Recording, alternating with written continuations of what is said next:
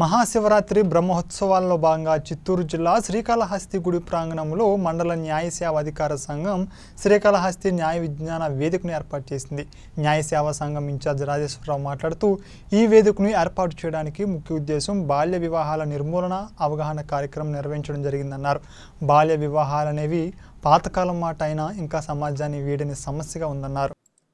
ఈ ఇరవై ఒకటవ శతాబ్దంలో కూడా బాల్య వివాహాలు జరుగుతూ ఉండడం శోచనీయం. ఈ పరిస్థితి మన అభివృద్ధి వేగాన్ని నిరోధిస్తుంది. అందువల్ల బాల్య వివాహాల మూల కారణాలు తెలుసుకుని వాటి రూపు మాపనిదే ఈ రుగ్మతను నిర్మూలించలేమని అన్నారు. అలాగే ఆడవారికి పద్దెనిమిది సంవత్సరాలు నిండి ఉండాలి. మగవారికి ఇరవై ఒక్క సంవత్సరాలు నిండిన వారు మాత్రమే వివాహానికి అర్హులు. అలా లేకపోతే వాళ్ళకి రెండు సంవత్సరాలు జైలు శిక్ష మరియు లక్ష రూపాయల జరిమానా ఉంటుందని హెచ్చరించారు. బాల్య వివాహాల నిరోధకత చట్టం మొదటిగా పంతొమ్మిది వందల ఇరవై తొమ్మిదవ సంవత్సరంలో రూపొంది అమలులోకి వచ్చిందని తెలియజేశారు. ఈ కార్యక్రమంలో ఆయనతో పాటు మహిళా న్యాయవాదులు సీనియర్ న్యాయవాదులు మరియు కంటా ఉదయ్ కుమార్ పాల్గొన్నారు.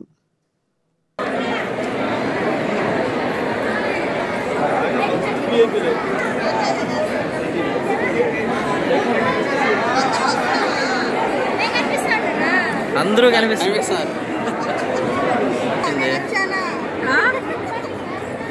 మీరు ఎందుకు రారు మేడం? చూడండి మేడం.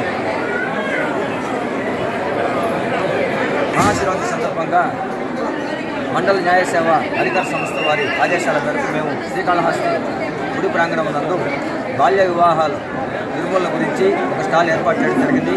అదేవిధంగా బాల్య వివాహాల గురించి కూడా ప్రతి ఒక్కరికి మేము అవగాహన కార్యక్రమం ఏర్పాటు చేస్తూ ఉన్నాం. ఆడవారికి పద్దెనిమిది సంవత్సరాలు నిండి ఉండాలి.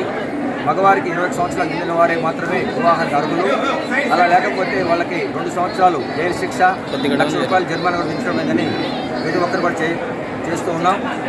ఈ కార్యక్రమంలో మాతో పాటు మా మహిళా న్యాయవాదులు మా సీనియర్ న్యాయవాదులు కట్టా ఉదయ్ కుమారు రాజేష్ రాయలు రజనీ గారు సుజాత గారు పారాలీగల్ వార్డిసెస్ అందరూ కూడా పాల్గొనడం జరిగింది.